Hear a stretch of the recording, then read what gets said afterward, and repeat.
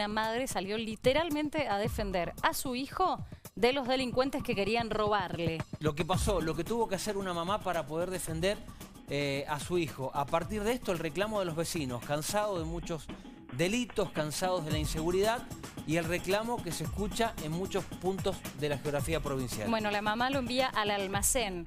Cuando está regresando es abordado por dos delincuentes y entonces la mujer para defenderlo termina golpeando a los delincuentes con un florero.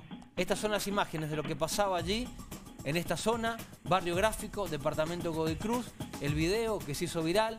Esto comenzó a hablarse y a, a tratarse en toda la provincia y a partir de esto la reunión, el encuentro de los vecinos y las distintas notas con Noticiero 7.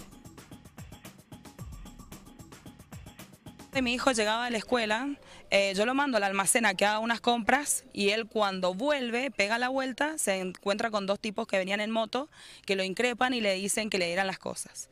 Yo justamente estaba trabajando con mis plantas y tenía un florero en la mano, al cual lo estampo contra, con mucha fuerza contra el portón y bueno, digo que por favor lo dejen salir, que yo tengo un arma, o sea, que se vayan. Y bueno, gracias a Dios ellos parece que escuchan eso y se van. Y bueno, a mi hijo después le abrí la puerta, él tenía la llave.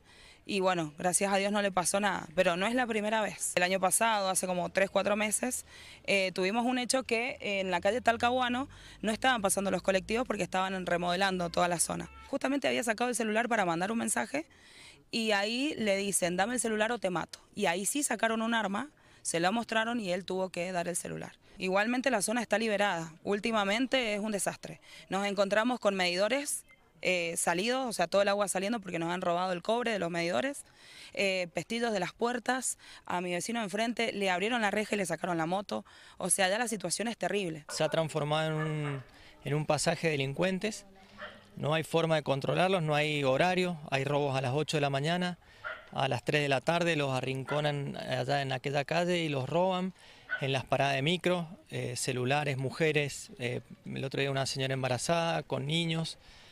Eh, la verdad que la situación es bastante insostenible, no se puede salir, no se puede ir a comprar, no se puede ir a tomar el micro, no podemos disfrutar, o sea, los chicos ya tienen miedo de caminar por el barrio.